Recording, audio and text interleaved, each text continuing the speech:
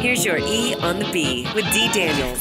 Hey, welcome to E on the B Friday. It is powered by Wade Schick's Chrysler of Culpeper. Hey, check it out, offering great deals on new Chrysler, Dodge, Jeep, and Ram vehicles.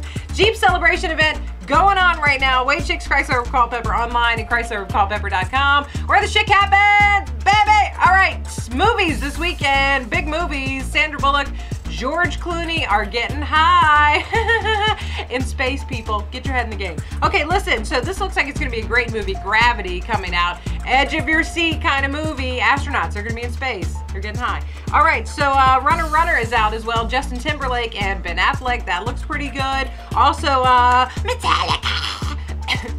Metallica. Okay, so Metallica is out with their movie uh, Through the Never out this weekend at the theaters check it out. Okay, uh, Miley Cyrus is on SNL this weekend. Boom, baby. So here's the deal. Um, obviously, she's going to be talking about her VMA performance. She's likely going to be naked most of the show. She's going to have her tongue out. Now she's going to be talking about Sinead O'Connor because they're in a little, you know, feud, letters back and forth.